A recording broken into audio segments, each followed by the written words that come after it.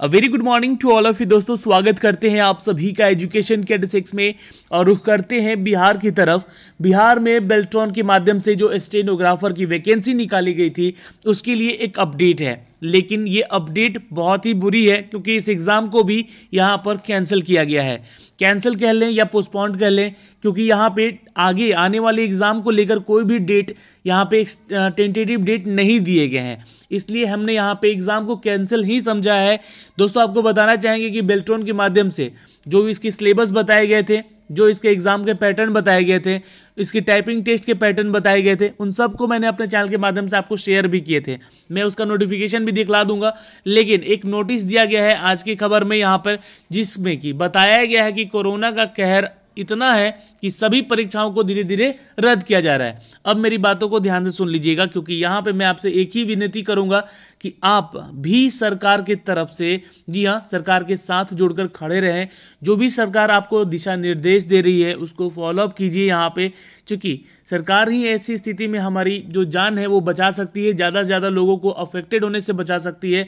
इसलिए हमारी आप लोगों से, जितने भी हमारे व्यूअर हैं, उन सभी से दरख्वास्त यही करूँगा कि प्लीज़ जो भी यहाँ पे इंस्ट्रक्शन दिए जा रहे हैं बिहार गवर्नमेंट या इंडियन गवर्नमेंट के द्वारा, आप उसको फॉलोअप ज़रूर करें और वैसे ही स्थिति में आप एक दूसरे का सहयोग करें।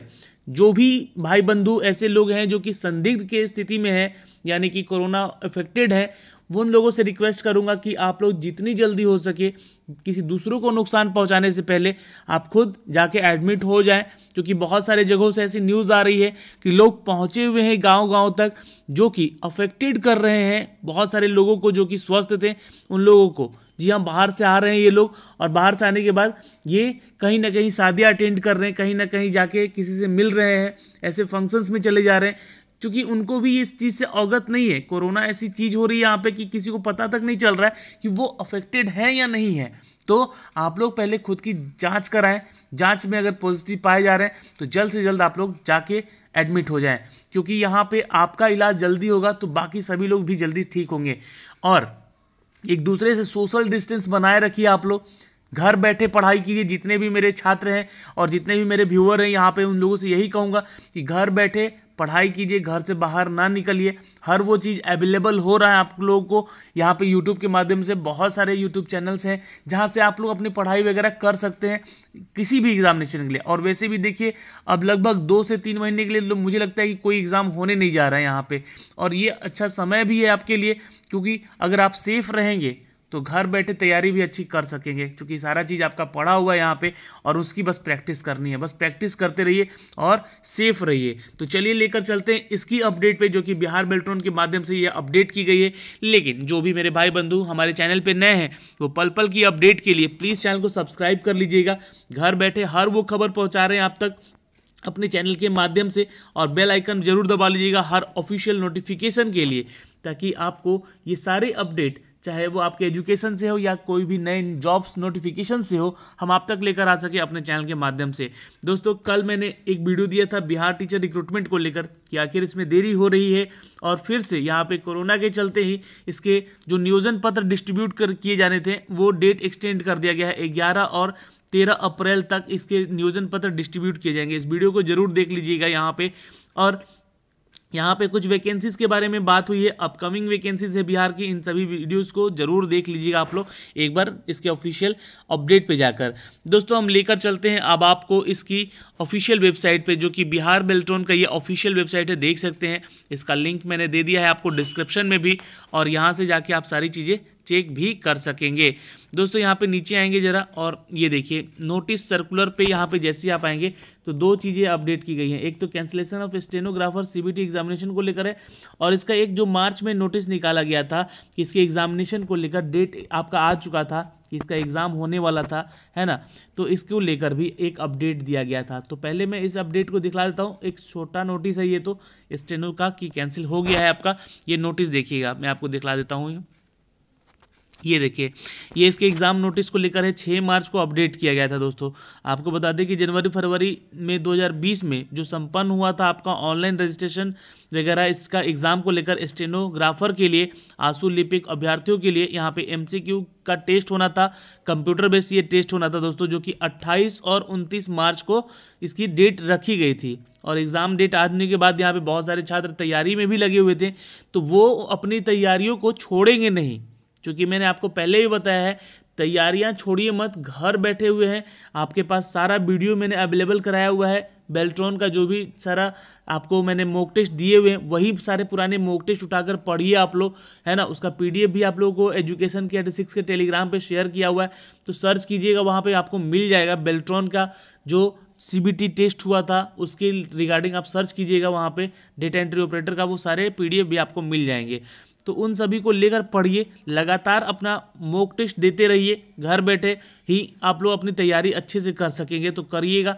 यहाँ पे इसका जो सिलेबस था, वो एन का थ्री थ्री सिक्स, जो कि सेम डेटा एंट्री ऑपरेटर का सिलेबस था, वही दिया गया था इसके सीबीटी एग्ज़ाम को लेकर। टाइपिंग टेस्ट के बारे में भी मैंने आपको सारा डिटेल बताया था। हिंदी और अंग्रेज़ी दोनों भाषाओं में कंप्यूटर पे आपके टाइपिंग टेस्ट होगी, जिसका क्रमशः यहाँ पे 30 वर्ड पर मिनट और 25 वर्ड पर मिनट का आपका स्पीड होना अनिवार्य बताया गया था। वहीं स्टेनो पर आपकी जो अनिवार्यता है, यानी कि टाइपिंग टेस्ट की, वो 80 वर्ड पर मिनट भी बताया था मैंने आपको, जो कि आँसू लिपिक में गति आपकी होनी चाहिए। तो दोस्तों, ये एक अपडेट था जो कि आपके एग्जामिनेशन को लेकर था। 28 और 29 मार्च को इसका परीक्षा होना था। एडमिट कार्ड आपके जारी होने वाले थे। 21 मार्च को, जो कि आज हो नहीं सका यहाँ पे। एडमिट कार्ड इसको जारी नहीं किया गया था। लेकिन यहाँ पे अब एक अपडेट आया है, जो कि अपडेट है इसी की ऑफिशियल वेबसाइट पे। उस अपडेट से भी आपको यहाँ पे अवगत करा देना चाहता हूँ मैं आपको।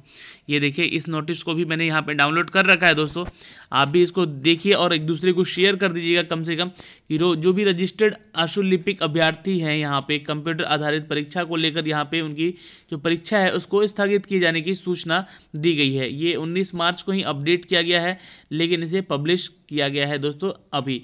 ठीक है तो आपको बता देना चाहते हैं कि जिनका भी एग्ज़ाम 28 और 29 मार्च को है आस्ट्रोलिपिक अभ्यर्थी परीक्षाओं के लिए, यहाँ पे उनके एग्ज़ाम को यहाँ पे फ़िलहाल स्थगित किया जाता है कोरोना वायरस के संक्रमण से बचाव के लिए एवं सीमित सीमित रखने के प्रयास को 29 मार्च को होने वाली जो परीक्षा थी आस्ट्रोलिपिक अभ्यर्थियों की कंप्यूटर परीक्षा, वो यहाँ पे तत्काल स्थगित की जाती है।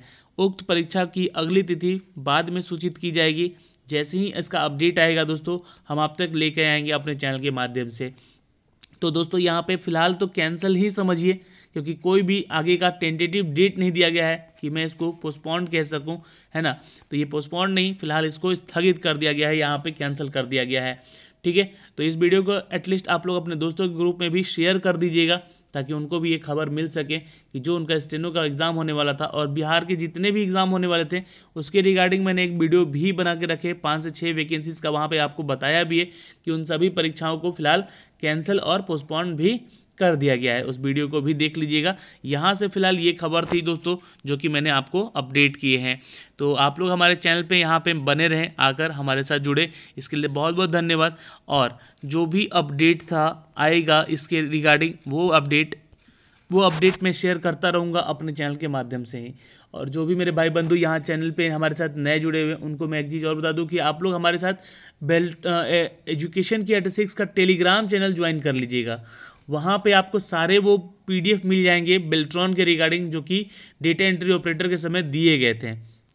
अब ज्वाइन कैसे करना है तो आपको आना होगा दोस्तों, यहाँ पे देख सकते हैं। ये देखिए, ये यूट्यूब वाले सेक्शन पे हमारे मेन जो हमारा पेज है, यहाँ पे और इस पेज पे अबाउट वाला सेक्शन पे आना होगा आपको। यहाँ पे देखिएगा, यहाँ पे अबाउट वाला सेक्शन है ये, ठीक है? तो इस अबाउट वाले सेक्शन पे क्लिक करेंगे और नीचे जाएँगे, यहाँ पे लिंक्स आपको दिए गए हैं टेलीग्राम के।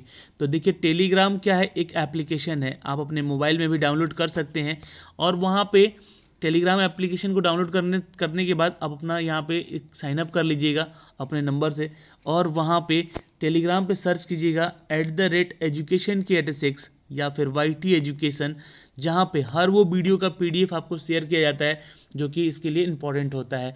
तो इस वीडियो के लिंक के साथ साथ मैं इसका पीडीएफ भी आपको शेयर कर दूँगा।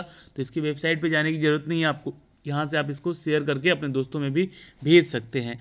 कि इस एग्ज़ाम को रद्द किया गया है, फ़िलहाल यहाँ पे और जो भी आप लोग वीडियोस देखना चाहते हैं, उसका एक प्लेलिस्ट भी बना रखा है हमने। यहाँ पे जॉब्स के रिगार्डिंग जो भी अपडेट आते हैं बिहार के या फिर अदर स्टेट के, वो अपडेट आपको यहाँ पे दे दिए जाते हैं।